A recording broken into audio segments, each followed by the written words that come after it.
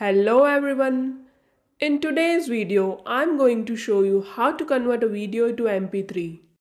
There are quite a few ways to convert video to MP3, but the method we are exploring today using VLC Media Player is simple, efficient, and gets the job done without any fuss.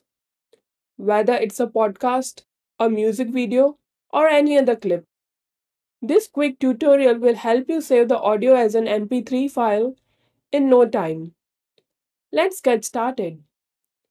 Here is a video saved on my desktop with audio. And I want to extract it as an MP3. To do this, I will open VLC Media Player, which is already installed on my computer.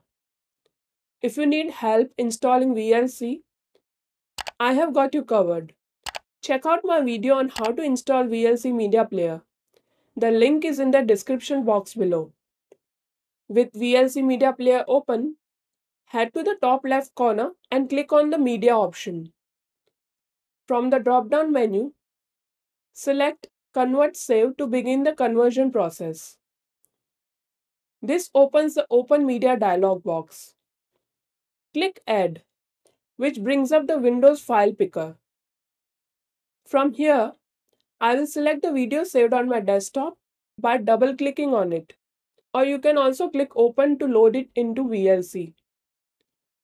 After the video is loaded, click on the convert save at the bottom of the window. This will open the conversion settings. And don't worry, no rocket science here. It's just a few clicks not NASA launching a satellite.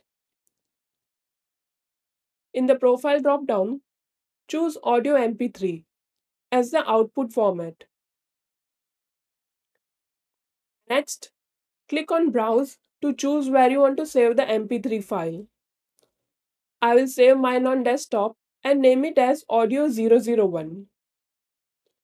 Make sure the save as type is MP3 and click on Save. Now that we have set the source, file type, and destination, click Start to begin the conversion. VLC will process the file and convert it into an MP3. You will see the progress in the VLC player bar. Once the conversion is complete, the file will appear right where we selected. On the desktop in this case, saved as Audio 001. And that's it. You have successfully converted your video to MP3 using VLC Media Player. If you found it useful, please give it a thumbs up and subscribe for more videos like this. If you have any questions or suggestions for topics you want me to cover, please drop a comment below. I'll catch you in the next one. Take care.